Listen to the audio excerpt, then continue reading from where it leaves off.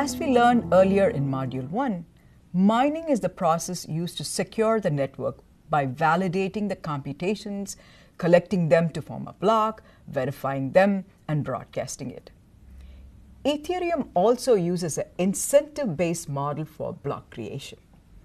In this lesson, we'll explore some relevant concept about fee structure and the incentive model. Every action in Ethereum requires crypto fuel or gas. Gas points are used to specify the fees instead of Ether for ease of computation using standard values. Gas points allow for cryptocurrency independent valuation of the transaction fee and computation fees.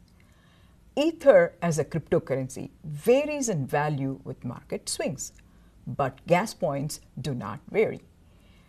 Ethereum has specified gas points for each type of operation. Mining process computes gas points required for execution of a transaction. If the fees specified in the gas point in the transaction are not sufficient, it is rejected. This is similar to mailing a letter with insufficient postage. The letter will not be delivered if it had insufficient postage.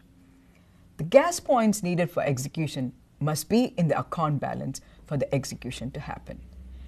If there is any amount left over after the execution of a transaction, it is returned to the originating account. So far, we looked at the gas related items in a transaction. Now let's look at the gas related items in a block. Gas limit and gas spent. Gas limit is the amount of gas points available for a block to spend. For example, if a block specifies a limit of 1,500,000 units of gas and a basic Ether transaction fee is 21,000, this particular Ethereum block can fit about 70 plain Ether transactions. If we add smart contract transactions also into this block, that usually requires more gas and the number of transactions for this block will likely be lower. Gas spent is the actual amount of gas spent at the completion of the block creation. Now, let's look at the mining incentive model. The proof of work puzzle winner miner that creates a new block is incentivized with the base fees of three ethers and the transaction fees in Ethereum blockchain.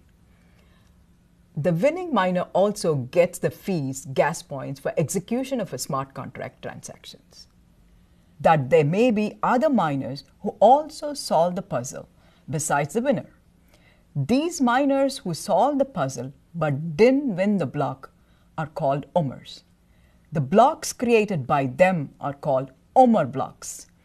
These are added as Ommer blocks or side blocks to the main chain. Ommer miners also get a small percentage of the total gas points as a consolation and for network security. Summarizing, any transaction in Ethereum, including transfer of ethers, requires fees or gas points to be specified in the transactions miners are paid fees for security, validation, execution of smart contract, as well as for creation of blocks. We presented a high level view of Ethereum blockchain. We'll use Ethereum as the reference blockchain in the next two modules and the following two courses.